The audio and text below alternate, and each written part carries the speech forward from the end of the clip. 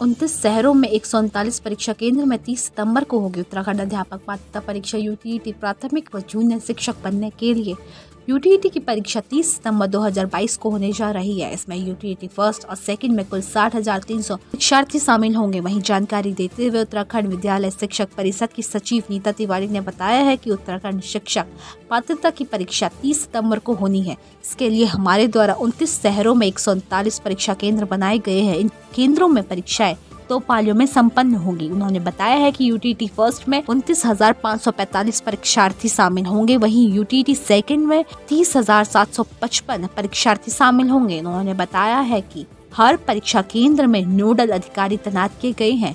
परीक्षा की निगरानी के लिए उनतीस शहरों में एक एक नोडल अधिकारी के साथ पर्यवेक्षक भी तैनात रहेंगे। उन्होंने बताया है कि हमारे द्वारा जल्द ही सारी तैयारियाँ सुनिश्चित कर ली जाएगी। यूटेट की परीक्षा हमारी 30 सितंबर 2022 को दो पाली में संपन्न होगी। और इसमें टी टी वन में हमारे पास में उनतीस हज़ार पाँच सौ पैंतालीस और सेकंड में तीस हज़ार सात सौ पचपन परीक्षार्थी सम्मिलित होंगे। इसके लिए हमने उनतीस परीक्षा शहर बनाए हैं जिनमें टीटी की परीक्षा संपन्न कराई जाएगी। परीक्षा तीस तारीख को तीस सितंबर को दो पालियों में संपन्न परीक्षा संबंधी सारी तैयारियाँ हमारी बिल्कुल अंतिम चरण में परीक्षा संबंधी कार्य चल रहा है और जल्दी ही सारी até a Escrita.